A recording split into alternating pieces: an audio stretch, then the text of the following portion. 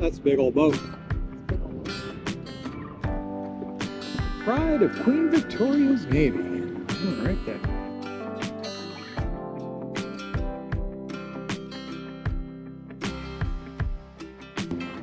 Experience life in the Royal Navy. Yeah, that's going to be a hard pass.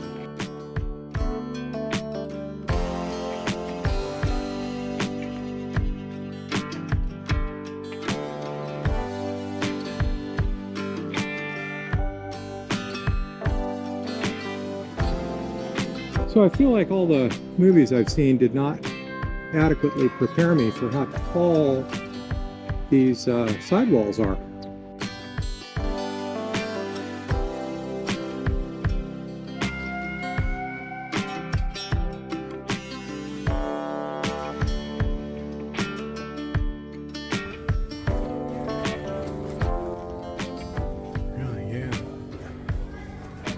I don't think I would fit onto that.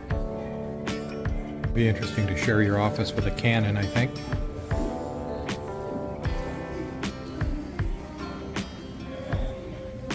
So we have handguns, scads of rifles. Over on the far wall there, we have swords. They were definitely prepared for all comers here.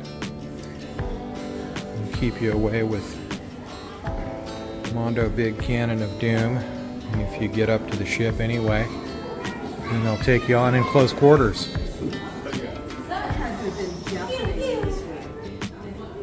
Oh, I can only imagine how the sound.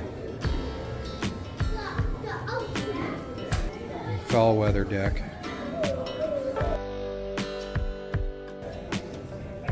And they've also got their uh, swords stashed overhead.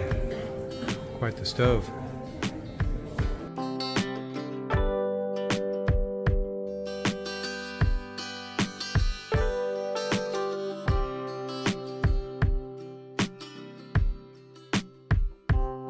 So having come down two sets of stairs, one of which, let's be honest, that's not stairs, that's a ladder. This would appear to be the infirmary. I assume that's personal gear, yeah.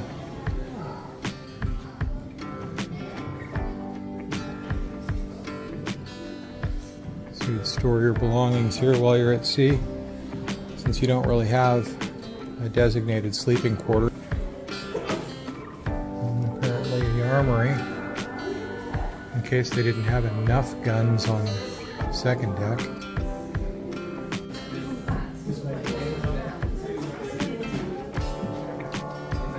Keep your soap and your chocolate in boxes right next to each other. You want to make sure and read that label.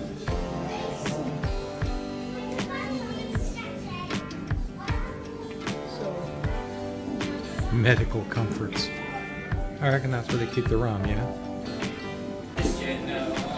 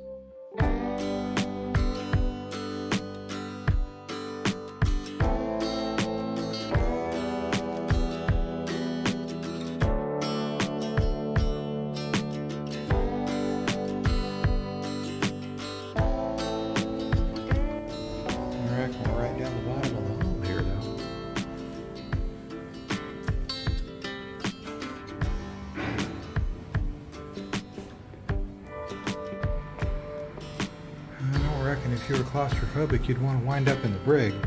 That is not much of a room.